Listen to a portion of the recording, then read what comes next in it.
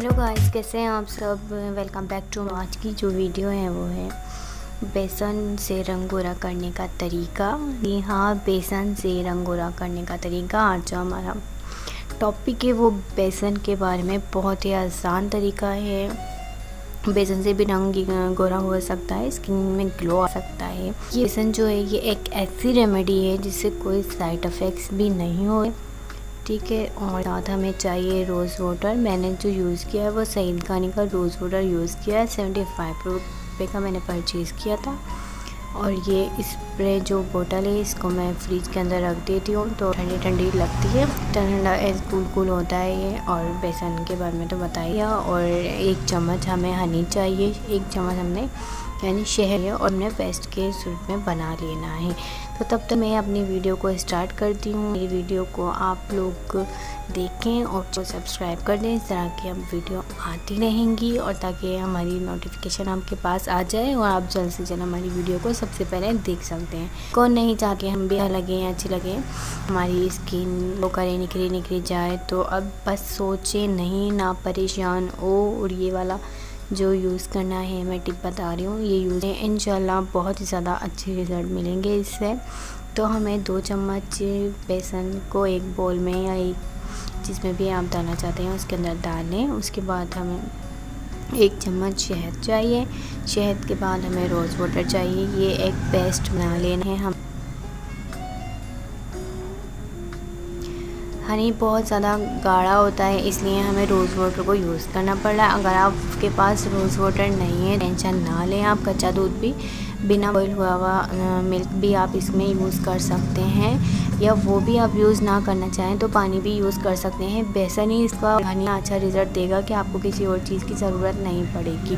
तो अगर आप ज़्यादा इसके अंदर हनी ऐड करना चाहते हैं तो कर सकते हैं, लेकिन मैंने कम के हनी यूज़ किया है और मैंने जो ये पेस्ट बनाया मैंने दोनों अपने हैंड्स के लिए और अपने फेस के लिए अप्लाई करने के लिए बनाया। अगर आप चाहते हैं कि आप सिर्फ़ अपने फेस के ऊपर अपने तो आप कम बना सकते हैं। अगर आप चाहते हैं कि आप अपने हैंड के ऊपर अप्लाई करें सिर्फ़ तो आप वो हैंड के लिए बना सकते हैं।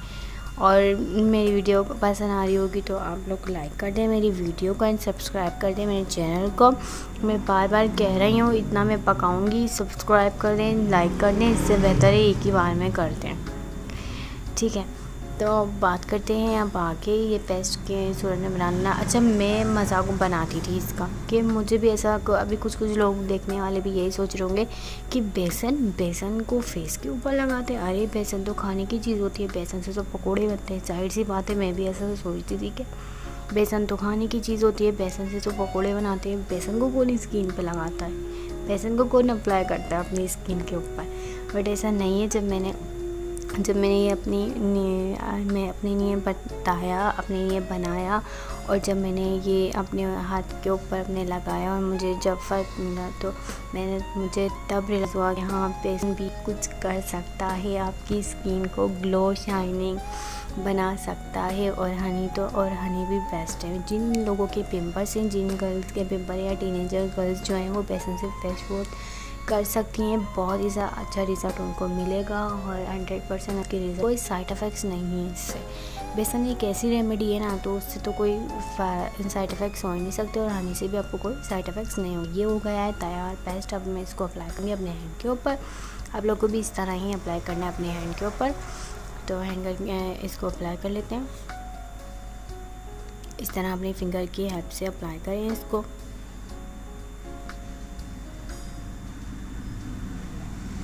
और थोड़ा सा मसाज करके इसको फिर हम ड्राई होने तक 15 से 20 मिनट तक इसको लगा रहते हैं उसके बाद ड्राई होने के बाद आप थोड़ी सी मसाज इसको करके, अपनी फिंगर से मसाज करके जिसे फेशियल में हम करते हैं, उसके बाद आप इसको वॉश कर लें।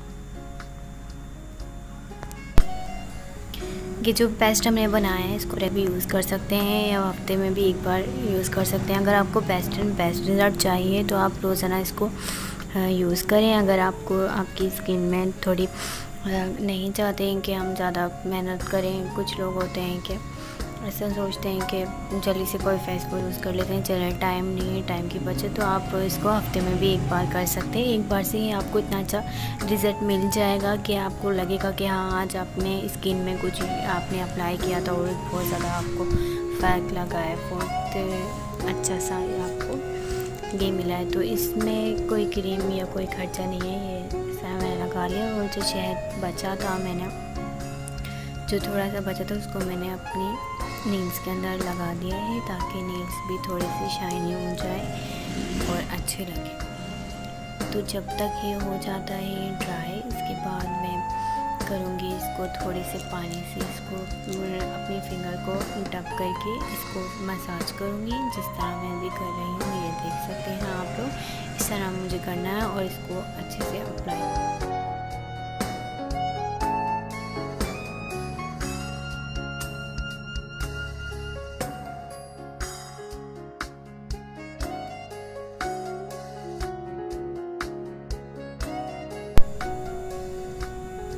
ये हो गया है ड्राई मैं इसको डब करके अपने आ, लगा के अपने फिंगर से इसको इस तरह मसाज करूँगी। और सारा ये जो सूख गया है ये ड्राई जो हो गया है इसको वॉश कर लूँगी। देख सकते हैं आप अभी इसको मैंने वॉश कर लेना है।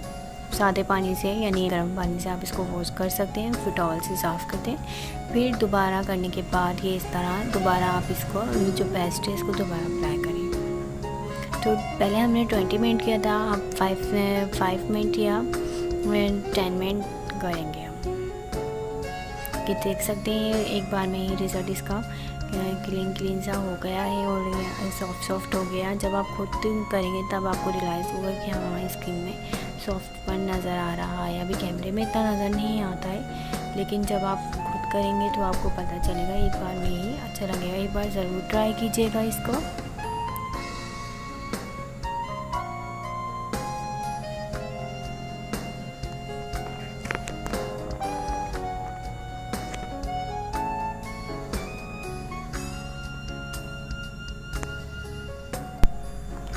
जब हमने पहले इसको ड्राई होने के बाद जब हमने रिमूव किया था तो अपनी फिंगर से रिमूव किया था। अब जब दोबारा पेस्ट लगाने के बाद हमें कॉटन के अंदर डिप करना है, पानी के अंदर उसको डीप करना है, उसके बाद हम इसको इस तरह कर सकते हैं। कि देखें थोड़ा थोड़ा डिप करके आप इसको कॉटन की हेल्प से इस तरह अप्लाई करें अपनी स्किन के ऊपर और रब करके इस तरह कर सकते हैं, इसको रिमूव कर सकते हैं।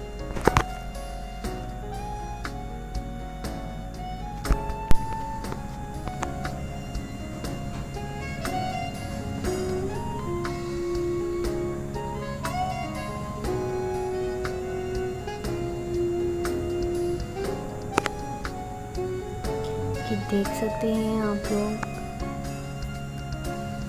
इसके बाद हम रोज़ वाटर के स्प्रे कर लेंगे। आप चाहें तो इसको अवॉइड कर सकते हैं। लेकिन जब आप स्किन को मसाज करते हैं तो रेड रेड हो जाती है। आपकी स्किन तो मैं इस वजह से इसको करती हूँ। मेरे हैंड्स पे ज़्यादा दोनों ही सेम लग रहे होंगे क्योंकि मैं ये करती रहती हूँ। तो ज़्यादा फ़र्क नहीं पड़ेगा मेरी दोनों स्किन के अंदर। और मेरे दोनों हैंड्स के ऊपर इतना ज़्यादा फ़र्क नहीं पड़ रहा है, लेकिन जब आप करेंगे तो बहुत ज़्यादा अच्छा लगेगा। मेरे दोनों ही हाथ सेम सेम लग रहे हैं, क्योंकि अगर आप रेगुलरली इसको करते हैं तो आपके सेम ही लगेंगे। जब आप फ़र्स्ट टाइम करते हैं तो आपको लगेगा कि हाँ दोनों हैंड्स में फ़र्क है। तो ये बहुत सॉफ्ट सॉफ्ट सी स्किन हो जाती है। जिससे वीडियो अच्छी लगी होगी। आई होप आप लोगों को वीडियो अच्छी लगे और सब्सक्राइब कर दें मेरे चैनल को। मिलते हैं एक नई वीडियो के साथ। तब तक अपना और अपनी फैमिली का, अपने पेरेंट्स का बहुत ज़्यादा ख्याल रखें। अल्लाह हाफिज़